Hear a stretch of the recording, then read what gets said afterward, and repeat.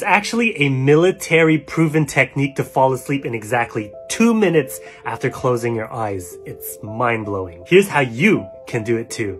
Now this technique was developed in the military to allow soldiers to fall asleep at any time, any place, even on the battlefield when the environment is extremely uncomfortable and there's a lot of noise happening. Sleep for a soldier is crucial. Now, according to my research, this was developed mainly for fighter pilots, who need 100% of their reflexes and focus, which we all know decreases with the lack of sleep. So here's the technique that they use, and it's quite simple. First, you need to calm your body and systematically relax and shut down each part of your body from head to toe, literally. Start by relaxing the muscles in your forehead. Relax your eyes, your cheeks, your jaw, and focus on your breathing. Now go down to your neck and your shoulders. Make sure your shoulders are not tensed up. Drop them as low as you can and keep your arms loose to your side, including your hands and fingers. Imagine this warm sensation going from your head all the way down to your fingertips. Now take a deep breath and slowly exhale, relaxing your chest, your stomach,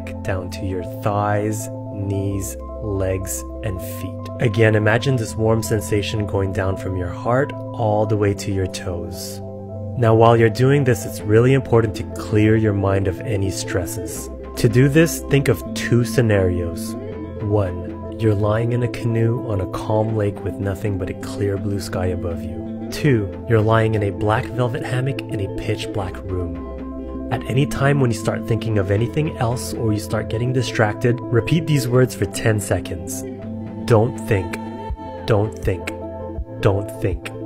So that's the technique. You're supposed to practice every night for six weeks. 96% of people who master this technique are actually able to fall asleep within two minutes of shutting their eye. I find it super interesting. I did not invent this technique, but I'm definitely gonna try it out. Let me know if you're on board as well.